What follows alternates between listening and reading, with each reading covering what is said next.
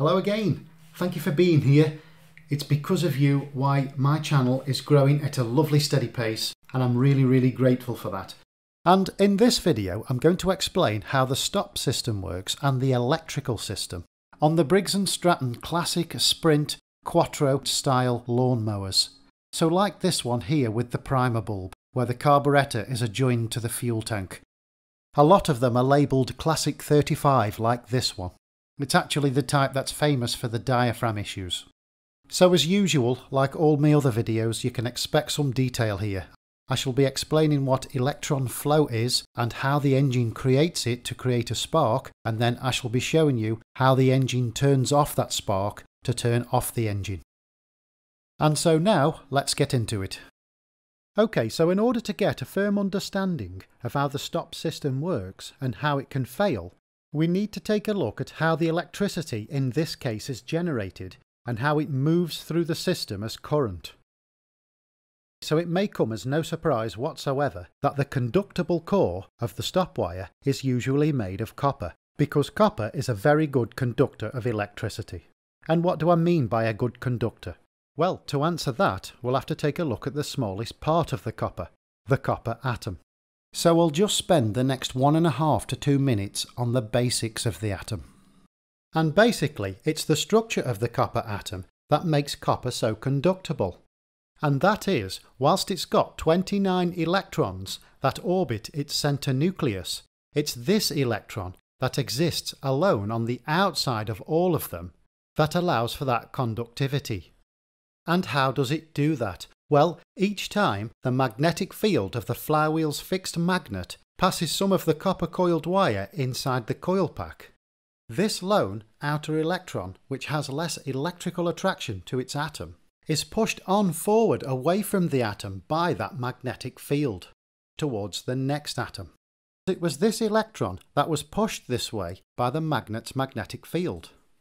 Now, of course, the magnet moving past the wire wouldn't just move the electron from one atom, it would move the electrons from billions. I'm just making this simple example.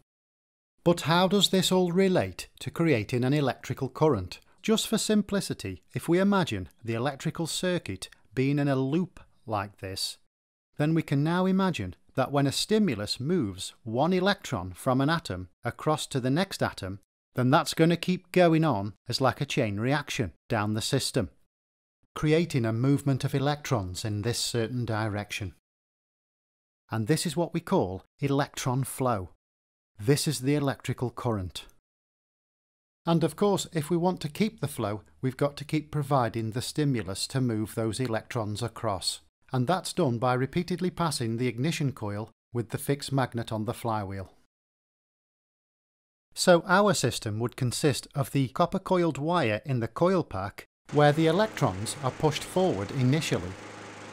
And then it goes through the electrical wires, either through the HT lead to the spark plug, down the special conductive core of the plug, and now these trillions of negatively charged electrons can sense ground. And because this ground is more positively charged than themselves, they arc across the gap. And as they arc across the gap, that's creating the spark. And they instantly move through the outer grounded area of the spark plug and into the engine body, where it's not necessarily positively charged, but because it's more positively charged than all of those negatively charged electrons, that's why they're attracted to it. And for that reason, this is what's known as a ground. The engine body, or the ground, then has contact with the ignition coil and some of the copper coiled windings inside. And so the electrons would flow like this, from the coil to the spark plug to the engine body and back to the coil again. Now I'm not saying that the engine block has a direct contact with the coil windings all of the time, because if it did so, then the electrons wouldn't flow to the spark plug. They'd go direct into the engine block because that would be the path of least resistance to the more positively charged engine ground. And I'll explain why this is the case very shortly. But nevertheless, because we've bypassed the spark plug, the engine just wouldn't run.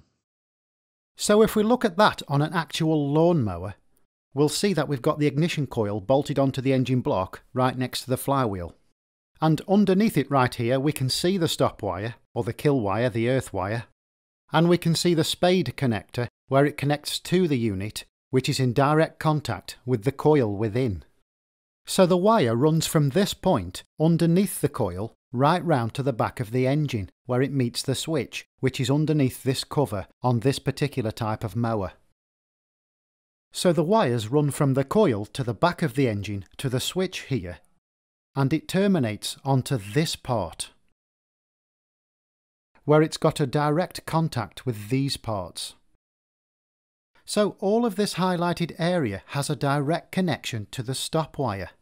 And these areas are separated from its stand and the engine block, which are both ground, by some special insulation material here.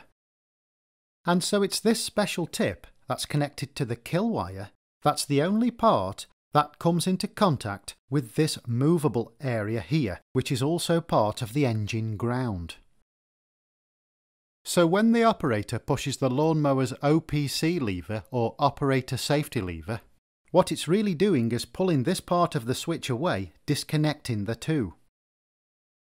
And at the same time, it pulls away a special little brake pad which has been holding the flywheel in a certain position when the safety switch is not pressed.